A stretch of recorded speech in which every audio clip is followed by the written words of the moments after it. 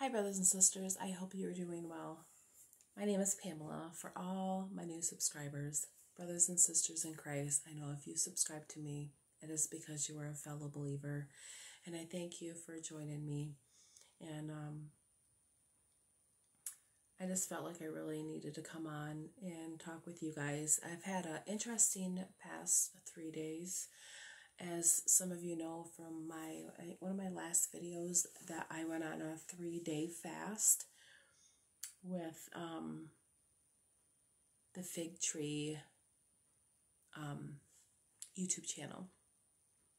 And we were praying against the evil powers of darkness for the Halloween holiday. So I fasted from Friday until I and I broke the fast this morning. And um, I just spent a lot of time in prayer. My fast, I didn't do the whole 24 hour food fast. I did from the time I wake up in the morning from like 7 to 7.30 until 8 o'clock at night. 8 o'clock at night, I would break the fast.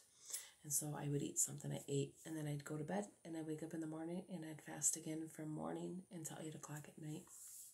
And during them three days, I had a really, I had a lot of um, awesome time with the Lord.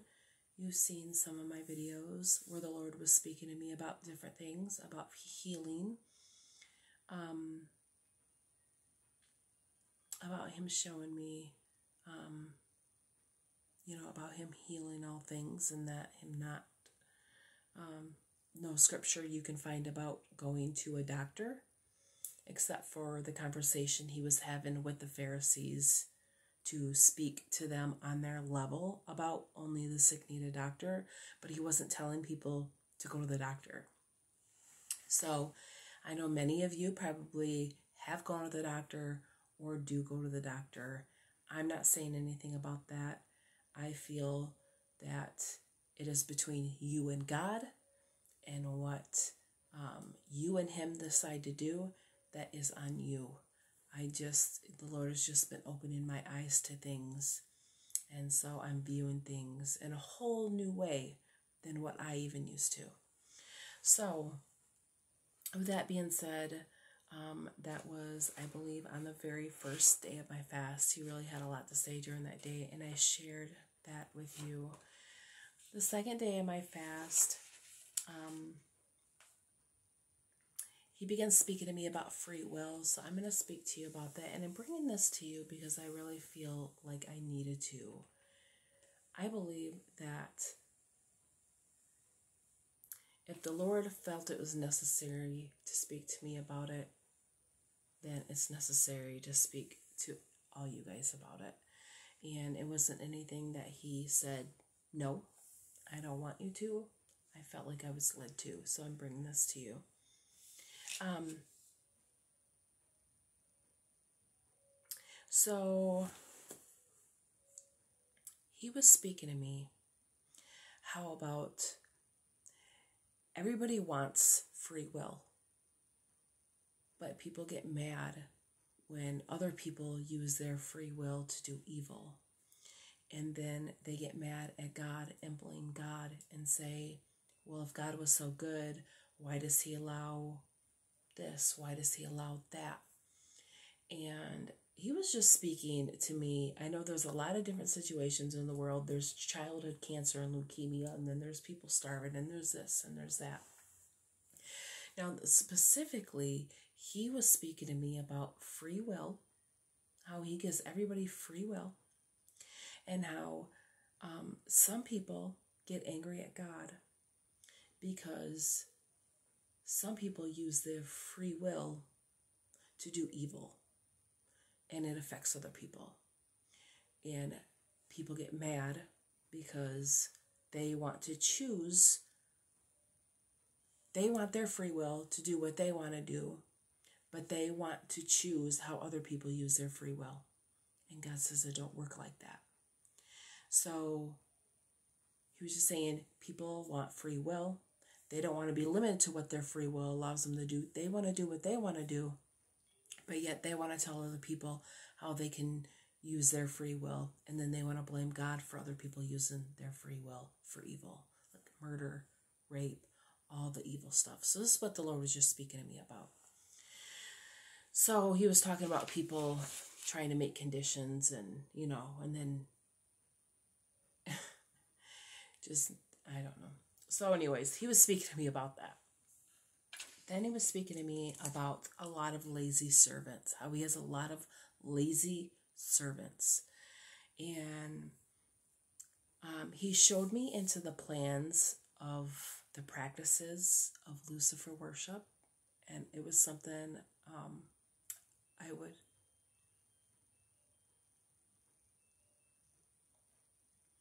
It's something I would never want to see again.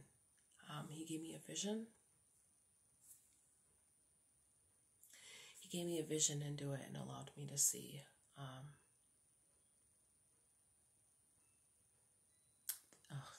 There's a lot of evil that goes on. So, anyways, I'm not gonna um I'm not gonna share with you what he showed me because I don't want to talk about it. But it was giving me, he was helping me to know how to pray. So I began praying in the situation that he showed me. Um, and he was talking about how um, evil will get handed down through generational curses and open doors, family traditions, and he was showing me how the evil comes in. Um, evil spirits will come in through um, PTSD and different things, abuse and stuff like that. And uh, he was showing me how he had protected me. I went through my fair share, and uh, he protected me. And he's always given me a heart for a forgiveness and um, he's really given me the ability to forgive like he does and so i'm very thankful for that um, but he was speaking to me about how his lazy servants how there are many different kinds of servants there are so- servants who know what's going on in the world but don't care they're selfish. They think about themselves. They don't pray for other people. They just pray for their own selves and what they want and whine and cry, but they don't get what they want. There are servants who don't want to know what's going on in the world. They don't want to know. They just want to pray, want to protect themselves, want to protect them, their own family, cover themselves with a hedge of protection, but they don't want to know what's going on in the world. And then you got the servants who see what's going on in the world but don't want to say anything. And so he called them lazy servants. So, um, my goodness gracious. I'm just glad I was doing my part. I do not want to be considered a lazy servant for sure. So he was just speaking to me about that he last night there was an opportunity my husband and i were speaking and my husband kind of felt like because i have some made some statements as far as um, speaking about a church being like a pergamum church speaking about how sin is preached from the pulpit my husband has said that i have judged the scripture makes it clear that we are to call things out. It's not called judging. Paul and Timothy call people out by name and their sin and their church. Paul went in, or uh, Timothy went in there and straightened up the church of Corinth. Even talk was was talking about the church of Corinth. There's people. Paul called people out by name and about what was going what they were doing. So I don't know if you can hear my husband. I hope you can't. He's up there talking on the phone and he's loud. Um, so, anyways, the world has gotten so much more evil because God's people have sat down and kept their mouths shut way longer than they should. Evil is running rampant he was showing me how churches should be healing stations for demonic activity. You cannot, he said, I only have a handful of churches that don't care what people think and will lay hands on the demonically possessed and cast demons off. He said people should not walk into a church and walk out with demons on them. Yet many churches don't want to touch the topic of demons because they're afraid of what it might look like. And the Lord is not happy about that. So he spoke to me about the laziness of that and how this world is full of demons. This world is filled with demons because the church has not stood up. And one of the things Jesus commanded us to lay hands on the sick and they will be healed, cast out demons.